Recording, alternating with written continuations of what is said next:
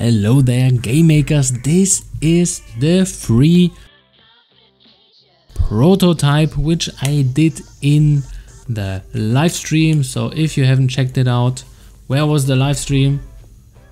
Here it is. But for example, if you didn't have two hours to watch me and to finish just a few basic things, well, this may be more interesting for you because here I actually did quite some improvement so this is a very solid prototype now. Of course this was a little bit more than two three hours of work but i guess this is already a pretty decent uh, version almost a full game so you don't really have to do anything besides well um, make some of your inputs so you can actually uh, make it the way you like to have it. But of course if you are just curious how a, a Gradius clone would look like in or R-Type clone would look like in Game Maker Studio how you would set up a few things because I did quite a few as you can see. Then well check it out download it and do whatever you like because this is once again a free project. This is CC3 if you, for example, do a game with it and release it, then it would be pretty sweet if you actually could.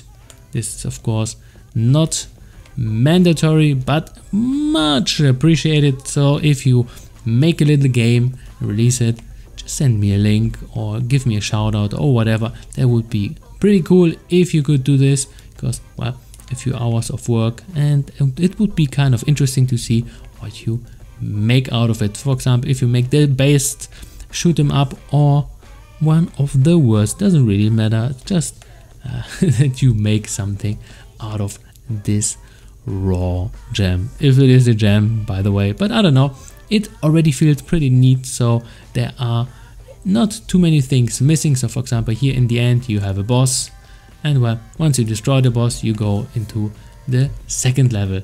So how does that look like under the hood? Well, two levels, one, two. And then you just put in your enemies, bam, bam, bam, bam, bam, bam, and then whatever you like to have.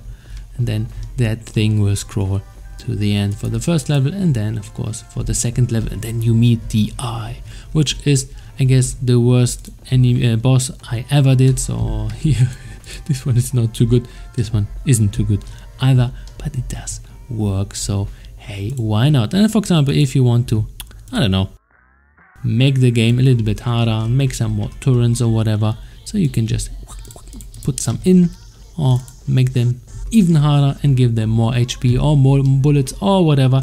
There are tons of things you can actually do here so just uh, give your creativity as much room and space as much as you want it. Just a few things because one of those patrons asked me how to do. One thing was um, how to do a blocking instance. So for example, if there is a wall, then you cannot fly through and then it will completely block you. For example, here, this is what you, if you've seen the, well, stream, then the thing flies automatically.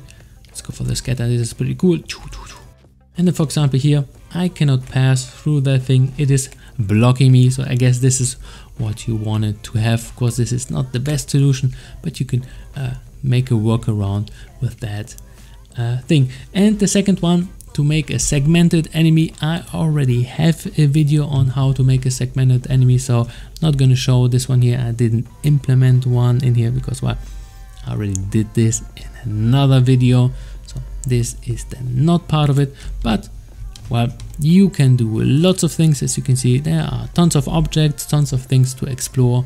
Homing rockets, this kind of uh, laser beam and then a laser shot, scatter shot, yada, yada, yada. And all that stuff, of course, a little bit more advanced than the stream because in two hours, let's face it, when I'm explaining lots of things, this takes ages and for example if I would do this and explain it to you wow that would take I don't know 20 hours? Even more, I guess, because there's tons of explaining to do, why this, why that, yeah. So this is, I guess, maybe the more efficient way just to give you the project so you can dabble with it and, well, maybe get some inspirations. So that was pretty much it. I enjoy it.